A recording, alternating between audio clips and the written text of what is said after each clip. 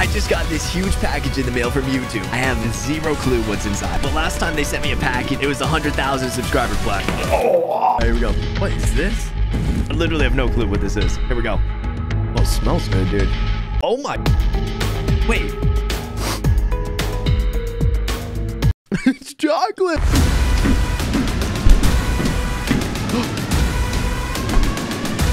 Is this what I'm supposed to do?